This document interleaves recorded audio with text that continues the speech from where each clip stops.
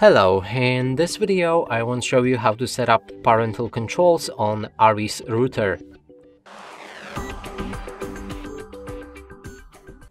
And to do this, you will need to log in to configuration website. I shown you previously on how to do that in uh, the first setup video. Now here select parental controls.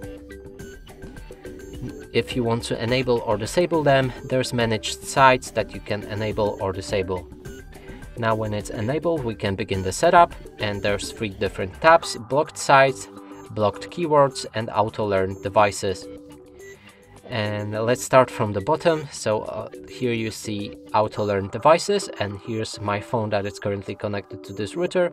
And we can say that it's uh, trusted or not.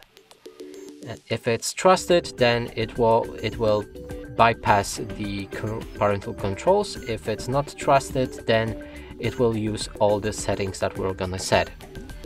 There's blocked keywords and if you click on add you can add any and configure any uh, specific keywords that you want to prevent from using on this device.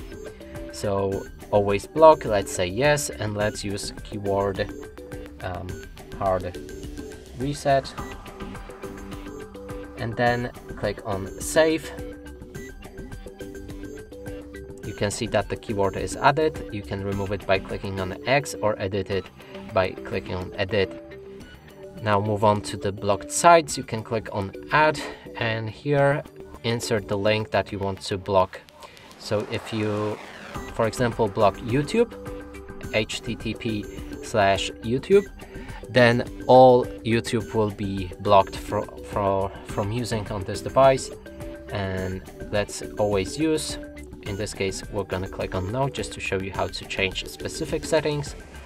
Because if you say no, then you'll be able to set when this site will be blocked. You can start it from a specific hour, end it on specific hour, and select specific days to make this website uh, locked uh, from. Yeah, and uh, make sure to save it as well. And from there, everything uh, in parental controls should be set. And that's it for this video, hope you like it, please consider subscribing to our channel, leave like and a comment below.